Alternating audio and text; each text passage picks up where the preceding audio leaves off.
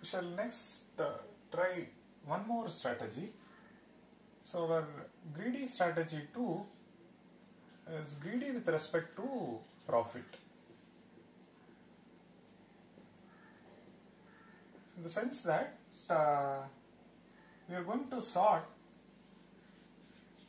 the profit array because intuitively we think including an object of uh, maximum profit and second maximum profit it will slowly take us to a global solution where uh, we have a subset S prime whose uh, profit is maximum. So sort the profit array in increasing order in the other way it is uh, non decreasing order or uh, decreasing order if there are uh, duplicates uh, it is uh, non increasing otherwise it is decreasing order. So which means you get to see like uh, p1 prime is greater than or equal to p2 prime so on up to pn prime. Now we include this and then check the weight as uh, corresponding weight. So w1 prime is less than or equal to w. If so we go to the next object and check whether w1 prime is plus w2 prime is less than or equal to w. And in case we are unable to include w w2 we look at uh, next object w3 w4 and so on up to w1 when you cannot include any more object you stop the procedure and output such a set okay. And intuition uh, question says maximize profit. So let's start the profit array and start including objects with maximum profit second maximum profit and so on. Let's do for this. And uh, if you do that then we will have to start from here because this is maximum second maximum and so on. So if we follow this strategy so first we will include uh, x4 the reason uh, w4 is 5 which is less than or equal to 6 and because of this the profit is uh, 50 next we look at uh, x3 and uh, x3 can x3 be included? Uh, no. Uh, already we have 5 so 5 plus 4 is not this. So exclude uh, x3 then we check can we include x2 and uh, so 5 plus uh, 2 is not this. So again uh, exclude uh, x2 and check with respect to x1 and it turns out that 5 plus 1 is less than or equal to 6 so include x1 so now the profit earned is 50 plus uh, 10 60 fine so this is what uh, we have. Now look at uh, any other uh, solutions. And for example uh, if my s is say x2 comma x3 and the profit earned is uh, 20 plus 40 which is 60 this is also matching this. And if you look at uh, x3 and x1 the profit is only 50 so that is not uh, optimal. So this is uh, opt. And our algorithm is also giving uh, optimum solution. Or our strategy is giving optimum solution so intuitively we think uh, the strategy works right? Uh, but let's fine tune this. But it is so nice that for this example the strategy works. That's an important point.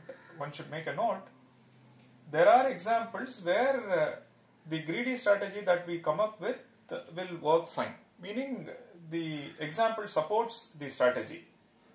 But there are examples for which it will not work then the strategy doesn't work always and so which means you have a mix of examples and counter examples. If it works for all, if it works for all, naturally you ask for a proof of correctness and then the greedy strategy becomes an algorithm. So what we will do is, let's fine tune this and see whether uh, we can convert this example into a counter example. Let's uh, fine tune this example. What we will do is uh, W is 1, 2, 4, 5 and profit is say 10 and say 25 and 40 and 50. So this alone I am changing it to 25, rest remains the same.